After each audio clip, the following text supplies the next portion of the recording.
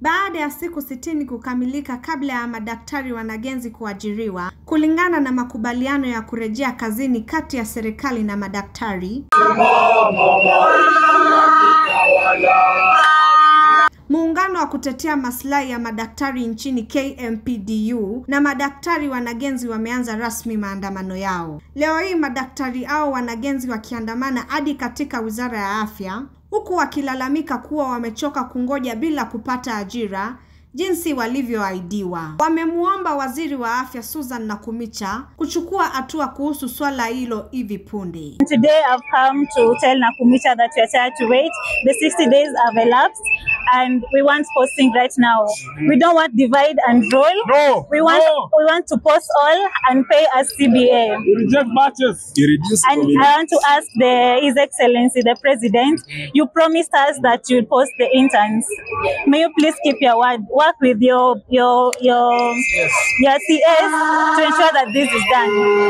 Otherwise, you're not living here without the letters. Madaktari hao wametoa taarifa kwa Wizara ya Afya kuwa lengo lao kuu ni kuhakikisha kila mmoja wao amepata ajira. Pia wamedokeza kuwa walitia bidii masomoni kwa muda wa miaka sita na kupata ujuzi unaofaa, lakini serikali haijatimiza malimbikizi yao. I'm a medical officer intern. Doctor. I'll be representing the interns across Kenyans who have failed to be posted as per the CBAs that were deposited in the labour court. And this is the statement that the medical officer interns, the pharmacists and the dentists and all the other interns have released. So, we as medical, dental and pharmacy interns gather here today with one mission to ensure our posting is effected and that no one is left behind. Wameendeleza kauli yao kwa kusema kuwa jamaa zao wana msongo wa mawazo kuhusu maisha yao ya usoni, wakisema yako hatarini ikiwa serikali haitasikiza kilio chao cha muda mrefu. We endured more than six years of grueling med school, sacrif- Correct.